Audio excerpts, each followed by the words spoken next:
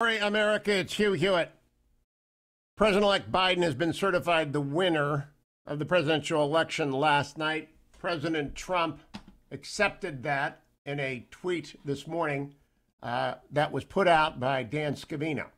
Even though I totally disagree with the outcome of the election, the president had Scavino type, and the facts bear me out. Nevertheless, there will be an orderly transition on January 20th. I have always said we would continue our fight to ensure that only legal votes were counted. While this represents the end of the greatest first term in presidential history, it's only the beginning of our fight to make America great again. I wish to uh, play for you Senate Majority Leader McConnell's statement on the floor of the Senate last night when, reassembling after rioters stormed the Congress, he laid down what I believe is the expectation of every American committed to the rule of law. We're debating a step that has never been taken in American history.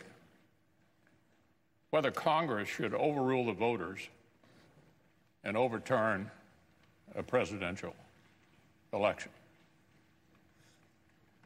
I've served 36 years in the Senate. This will be the most important vote I've ever cast. President Trump claims the election was stolen.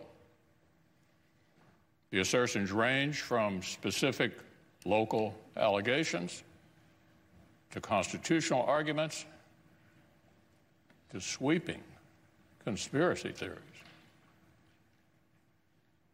I supported the president's right to use the legal system. Dozens of lawsuits received hearings in courtrooms all across our country. But over and over, the courts rejected these claims, including all star judges whom the president himself has nominated. That is the uh, the leader before the riot. I'm sorry. After the riot, he took to the floor of the Senate, reassembled the Senate, and said the Senate of the United States and the Congress will not be intimidated by mobs. And they went forward, and early this morning, they certified over the objections of some representatives, which are perfectly legal uh, and expected, uh, to various uh, state counts. Uh, both houses have certified President-elect Biden's election. Uh, Lindsey Graham uh, spoke last night as well. Cut number 11. Tim and I have a, a, good relationship. I, I love Tim Scott. 1876, South Carolina, Louisiana, and Florida sent two slate of electors. They had two governments, by the way, and we didn't know what to do.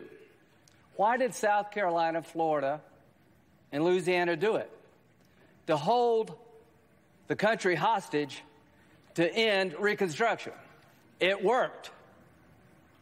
The commission was eight to seven. It didn't work.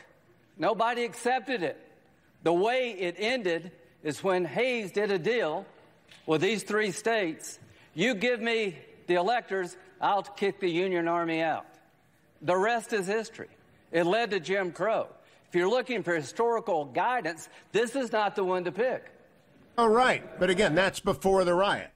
After the riot, numerous members of Congress from both parties denounced in absolutely appropriate and unqualified terms the rioters as lawless thugs.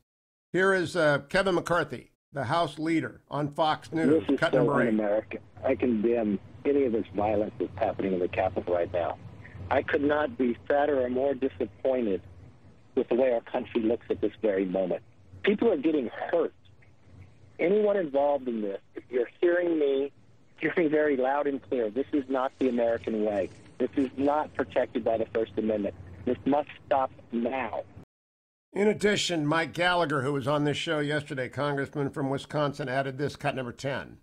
Right now, I am sheltered in place in my office because we have protesters who have stormed the Capitol, clashing with Capitol police, forcing their way into Statuary Hall. The Vice President of the United States was just rushed off the floor of the House by Secret Service. This is Banana Republic crap that we're watching happen right now. Did an interesting thing The veterans of war, Mike Gallagher of Iraq, Michael Waltz of Iraq and Afghanistan, Tom Cotton of Iraq, condemned without exception everything done by the lawless rioters. Michael Waltz, who represents the uh, area around Jacksonville down to Daytona Beach. Earlier today, I planned to object to some of the electors of states because I truly believe there were constitutional issues regarding states and courts challenging election laws shortly before Election Day. Objecting was supposed to serve as a forum to peacefully debate among my colleagues and raise these serious issues that deserve scrutiny. However, with today's despicable display of violence and intimidation on Capitol Hill, we must move on to ensure a peaceful transfer of power and certify the presidential election. We settle our political disputes through the debate and through law, not violent chaos. I've dedicated my life to serving our country in uniform. I fought to help others achieve the much desired peace and democracy we have been long accustomed to in America. The world is watching, and we cannot allow our institutions to tear apart over procedural debate. Senator Tom Cotton, again, like Waltz, a combat veteran of the war, issued a statement. Last summer, as insurrection gripped the streets, I called to send the troops in if necessary to restore order. Today, insurrectionists occupied our capital. Fortunately, the Capitol Police and other law enforcement agencies restored order without the need for federal troops. But the principle remains the same no quarter for insurrectionists. Those who attack the Capitol today should face the full extent of federal law. It's past time for the president to accept the results of the election, quit misleading the American people, repudiate mob violence and the senators and representatives who fanned the flames by encouraging the president and leading their supporters to believe that their objections could reverse the election results should withdraw those objections. In any event, the Congress will complete its constitutional responsibilities tonight. Uh, among many of the uh, objectors did withdraw. Uh, Kelly Loeffler, the defeated senator appointed in Georgia, withdrew hers. Michael Waltz withdrew his. Unfortunately, some did not. They went forward and were defeated, but they should have. And it is uh, it was a sad day. 1 800 520 1234. I would like to know your comments. 1 800 520 1234. I wrote for the Washington Post on deadline of an hour last night what, what follows. It's posted at WashingtonPost.com. Abraham Lincoln took office in 1861 as genuine war clouds loomed. A far, far worse situation than the storming of the Capitol by lawless rioters Wednesday. Lincoln arrived in the nation city from Illinois by a roundabout route for fear of assassination along the way. He closed his first inauguration this way We are not enemies, but friends, he said. We must not be enemies. Lincoln was not naive. He understood the deep divides in the still young United States, but implored everyone to step back from the brink of violence. Though passion may have strained, it must not break our bonds of affection, Lincoln said. The mystic cords of memory stretching from every battlefield and patriot grave to every living heart and hearthstone all over this broad land will yet swell the chorus of the Union, when again touched, as surely they will be by the better angels of our nature. Those moderating forces, which proved impossible to summon in Lincoln's days, have been largely missing from our country for four years, since the shock of the election of President Trump. Hyperpartisans have waged virtual campaigns against one another, and sometimes the virtual violence turned real. Often the police and other authorities have hung back and allowed looting and lawlessness to go unpunished. At other times, the police themselves have been the targets of attack, some physical and much verbal. When Trump supporters gathered in D.C. this week to, quote, stop the steal, it is hard to imagine that more than a tiny fraction intended violence, but some surely did, and they chose their moment with fierce intent. Congress had gathered to certify the election of President elect Joe Biden in a ceremonial process that has been, in recent cycles on occasion, developed a counterpart ritual of objection and debate. But the objectors of 2004 and 2016 did not object on behalf of a contender so indifferent to the facts of vote counts, court decisions, and public opinion as President Trump.